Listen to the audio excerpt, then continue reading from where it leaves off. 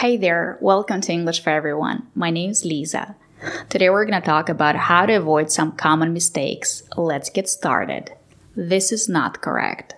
If a building or a neighborhood is run down, what does it mean? It means it's in a very bad condition.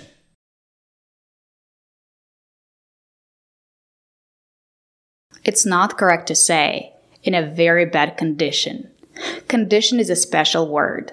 We say in bad condition or in good condition. It means in bad shape or in good shape. It's not correct to say in a good shape. We have to say in good shape or in good condition. In bad shape or in bad condition. So remember these special words condition and shape. Let's practice. Is the car in good condition? That's right. The car is in good condition. Good job. What about this car? Is it in bad condition? That's right. It's in bad condition. Good job. It's not in bad condition considering it's 11,000 years old. Yes, the car's in great condition. It hasn't been in any accidents. Uh, it was in terrible condition. This car is in great condition. Give me a. It's in bad condition, though.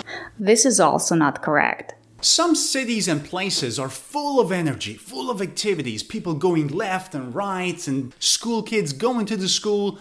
It's not correct to say school kids are going to the school. Go to school is a special expression. It's not correct to say go to the school. We have to say go to school. Right now, they're going to school. And we have a few other expressions like this go to work, go to school, go to bed, go to court, go to jail, go to prison. So remember these special expressions. It's not correct to say go to the bed. We have to say go to bed. Let's practice. I usually go to bed at 9. What time do you go to bed? Good job. Are they going to school? That's right. They're going to school. What about this guy? Is he going to work? That's right. He is going to work. I go to work every day. Do you go to work every day? Great job. So remember these expressions go to school, not go to the school. Today we're going to practice some common everyday phrases that I hear my students make mistakes with. They're very common, and we're going to talk about the pronunciation, American pronunciation, and the word usage. Normally, we say go to the.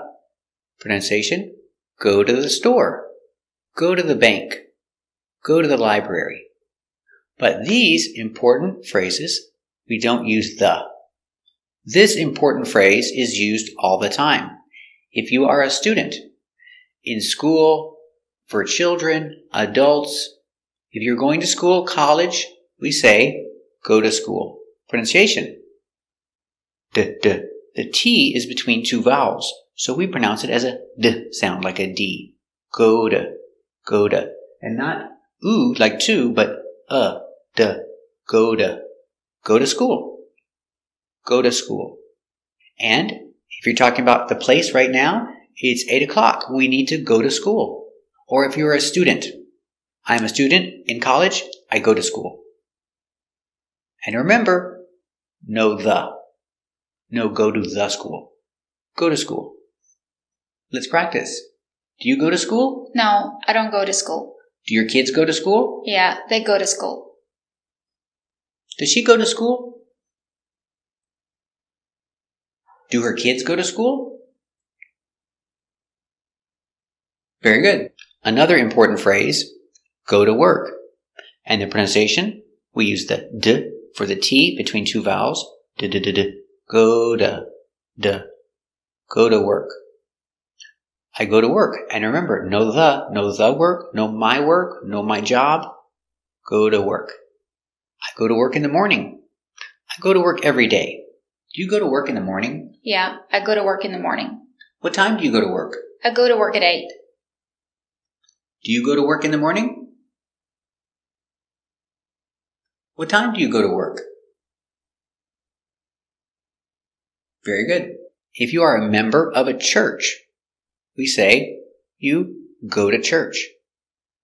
Or in the moment, right now, it's time, it's nine o'clock, I need to go to church. So, pronunciation, remember, we use the d, d sound. Go to, go to church. And no the church. I go to the, no the, I go to church. Do they go to church every week? Yeah, they go to church every week. Do they go to church every week? Very good. Example, go to court. Pronunciation with the D, go to, go to court. We don't say the court. No, go to the court. Go to court. If you get a ticket, you can pay the ticket or you can go to court. I don't want to go to court. I don't have time. I'll just pay the ticket. Did you get a ticket? Yeah, I got a ticket. Are you going to go to court? Yeah, I'm gonna go to court. Did she get a ticket? Is she going to go to court? Very good. And if you don't pay your ticket and you don't go to court, they will arrest you and you will go to jail. I don't want to go to jail. So remember pronunciation. Go to, go to jail and no, go to the jail. No the. Go to jail. Do you want to go to jail? Did you pay your ticket? Yeah, I paid my ticket. Are you going to go to jail? No, I'm not gonna go to jail. Did she pay her ticket? Is she going to go to jail? Very good. Another example prison. Prison is like a big jail for a lot of people. So again, prison. Pronunciation, go to. With prison, no the. No go to the prison. Only go to prison. A lot of criminals go to prison. A very common phrase, go to bed. You can say go to sleep or go to bed. Remember, bed. No, go to the bed. No the. Pronunciation, go to, da, da, go to bed. I want to go to bed. I'm tired.